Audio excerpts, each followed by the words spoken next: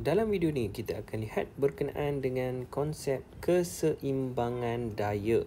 Jadi apa itu konsep keseimbangan daya dan apa beza dia dengan daya-daya yang kita dah belajar sebelum ini? Baik, jadi keseimbangan daya ini dia mudah saja iaitu dia bermaksud ah, satu objek itu dia berada di dalam keseimbangan daya jika dia punya daya paduan dia adalah sifar.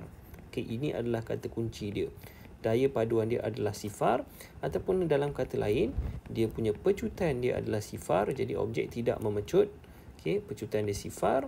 Ataupun lagi satu dia boleh jadi dia pegun ataupun halaju malar. Okey halaju malar ini pun biasanya kita terlepas pandang okey uh, halaju malar ataupun halaju seragam biasa soalan ini dikeluarkan yang mana dibagi tahu objek itu berada dalam halaju malar. Jadi apa maksud dia? Maksudnya adalah daya paduan dia sifar ataupun dia berada dalam keseimbangan daya. Jadi kita lihat uh, secara konsepnya lah berkenaan dengan keseimbangan daya dalam situasi yang kita ada. Okey, contoh kita ada sebuah bongkah yang berada di atas lantai dan dia tidak bergerak. Jadi bila dia tidak bergerak maksudnya dia berada dalam keadaan pegun. Okey, jadi bila dia pegun maksudnya di dalam keseimbangan daya. Jadi apa daya yang bertindak ke atas dia ada dua lah iaitu yang pertama oops yang pertama adalah dia punya berat dia. Okey berat ke bawah. Jadi berat dia kita label W dan berat dia diimbangkan oleh satu lagi daya iaitu daya tindak balas dia ke atas, daya tindak balas daya tindak balas normal. Okey R yang mana kita tahu bahawa W sama dengan R ataupun W tambah R sama dengan kosong. Okay. F sama dengan W tambah R sama dengan kosong. Jadi dia punya daya-daya dia adalah sifar.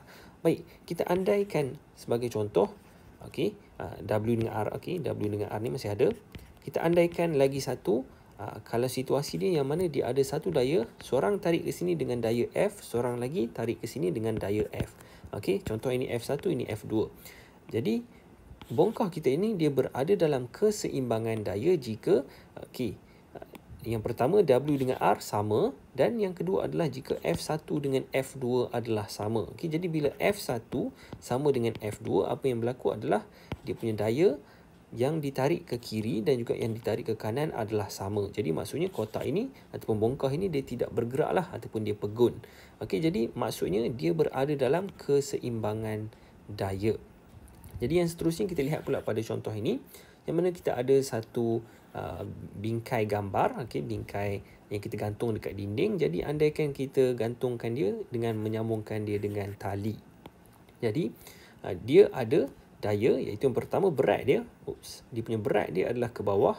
Jadi ini adalah berat bagi bingkai ini dan kita juga ada daya daripada tali ini iaitu daya tegangan. Okey, daya tegangan yang pertama ke atas ini uh, T okay. contoh ini adalah T2 yang ini adalah T1 T1 jadi dia punya daya paduan dia sifar kerana dia tidak bergerak okay. jadi bila dia tidak bergerak maksudnya dia berada dalam keseimbangan daya maksudnya dia punya keseluruhan daya paduan dia kalau kita tambahkan kesemuanya okay, ingat disebabkan dia tidak uh, dia tidak selari jadi kita perlu carilah dia punya komponen dia pada arah W. Okey dan juga pada arah sini dia mestilah bila kita gabungkan kesemuanya dia mesti dapat sifar. Okey dia punya daya paduan wajib sifar.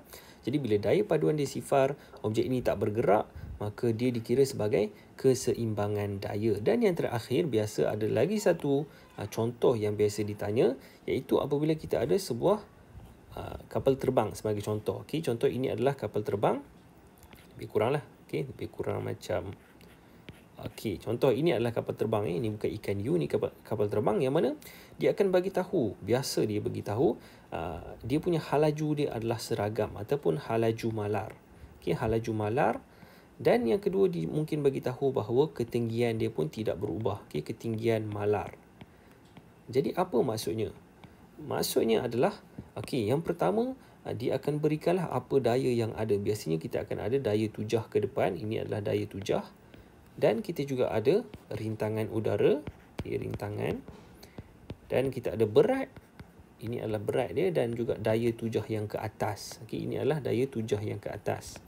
Okey, jadi bila dia kata halaju malar, kadang-kadang dia tanya apakah uh, jika kapal terbang ini berada dalam keadaan halaju malar ataupun halaju seragam mungkin dia bagi tahu halaju uh, 100 meter per saat okay, secara seragam. Jadi apakah hubungan antara daya tujah dan juga rintangan udara? Maka jawapan kita adalah dia punya daya tujah dia F tujah sebagai contoh. Okay, mestilah sama dengan dia punya rintangan dia.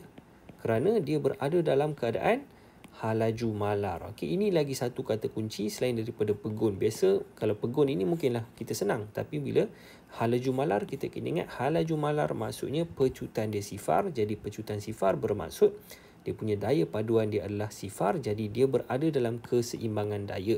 Okey, ini contoh yang pertama lah. Biasa ditanya ah, kalau halaju malar, apa hubungan antara yang ni? Tujah dengan rintangan. Dan yang kedua jika ketinggian dia malar apakah hubungan antara berat dengan daya tujah ke atas? Jadi jawapannya adalah berat sama juga dengan daya tujah ke atas. Okey jadi setakat itu sajalah untuk video kita berkenaan dengan keseimbangan daya konsep keseimbangan daya. Kalau anda tidak faham boleh tuliskan di ruangan komen di bawah. Untuk video yang seterusnya kita akan lihat pula macam mana kita nak lukiskan dia punya segi tiga ataupun segi empat.